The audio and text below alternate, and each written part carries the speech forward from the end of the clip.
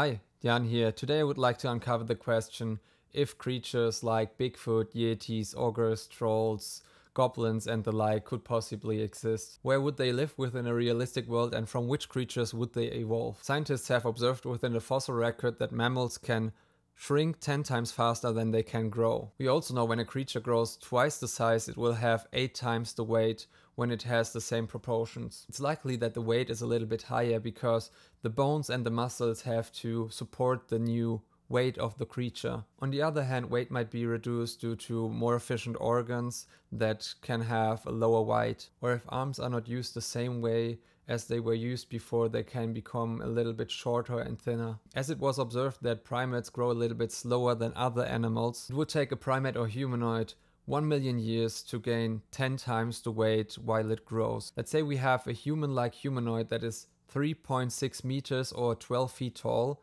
and weighs around 650 kilograms or 1,433 pounds. From what science knows today, it would take around 800,000 years for a creature to evolve from a human to such humanoid. It's very likely that such creatures would evolve from our ancestors, which originated within the elevations of Africa. They evolved to become opportunistic omnivores, which means they can eat nearly everything that is not poisonous, which is a very large advantage because you can grow within every niche and you can have food wherever you go on the planet. It's very likely that when they grow very large, that they mainly eat plant-based matter as most mammals on our planet that became very large eat plants. Most carnivorous animals don't grow very large and only those that are also omnivores will become a little bit larger. It's different with dinosaurs, but it's because the way energy is used within the body of creatures and therefore carnivorous mammals won't grow very large. And it would be only possible for such creatures to grow very large while being carnivorous when they live in regions where a lot of animals live like within or near jungles. Something like King Kong could exist in the world, but it would be much smaller than what you see within the movies. It's possible because 10 million years ago, creatures similar to gorillas already exist on our planet. It's possible that a gorilla-like creature could evolve within 5 million years to a larger than 4 meters or 13 feet high creature when standing on two legs and weighing around 10 tons but it would likely to be less than 10 tons because the legs would grow a little bit larger and therefore the body mass would be a little bit reduced.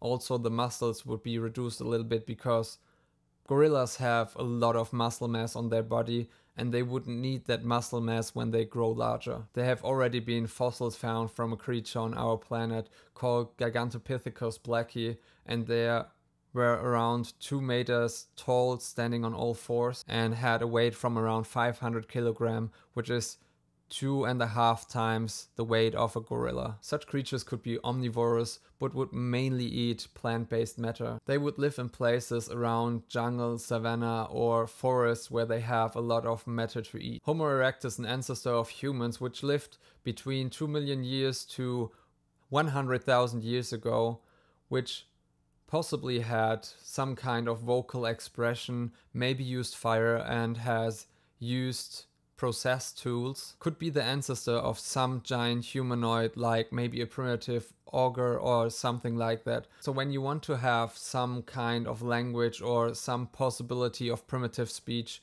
that is from where you want to go. By today's knowledge, the Homo erectus became Homo heidelbergensis, Neanderthalensis, Homo sapiens, and Denisovan. So this was a human ancestor that gave birth to many other lineages and therefore could also be the ancestor of some different fantasy creature. So this creature could easily have twice the body size of a human and therefore nearly 8 times the weight. So you would expect something beneath 800 kilograms but it would be very similar to what you would see within media movies or anything like that. They could evolve everywhere where humans evolve. They could live within plains, near forests and the like, because giantism is not just for creatures that live within the north, but within the north, creatures are more likely to evolve giantism to sustain the cold. I think Yetis or the Bigfoot would evolve from creatures like the Australopithecines, which were some of our ancestors and the ancestors of the Homo erectus.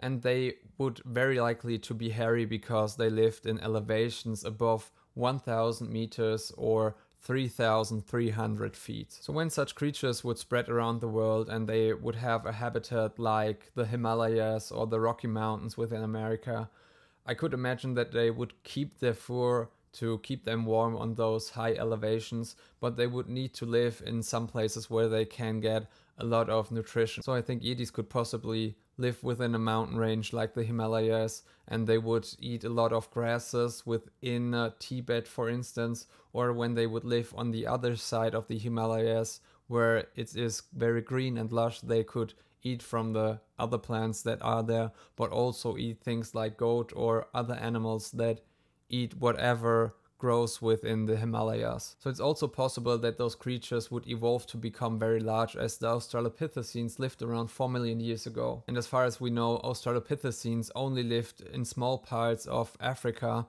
and when you could imagine that these creatures would spread throughout the world and would evolve within niches at the places you could have all kinds of human-like or humanoid creatures. When you hear the word goblin, I think most people think about something as you can see in Dungeons and Dragons. So those small hairy creatures with sharp teeth and that hunt in packs. I think some similar creature could evolve from Homo erectus, but I don't think that they would evolve sharp teeth or claws. But I think a much cooler creature would be something that would evolve from a Australopithecine in something that would fall within the niche of a goblin. I think another cool thing is when you already had humans which had agriculture for several thousand or maybe million years what creatures could evolve from those humans or those humanoids. Because they could grow very large because they have such an abundance of food which you can see within modernity how the younger people become very large already. And that's all I've got for this topic. If you are interested in this topic and want to know more just let me know. Thank you for watching. I hope you have learned something and I hope you have enjoyed it.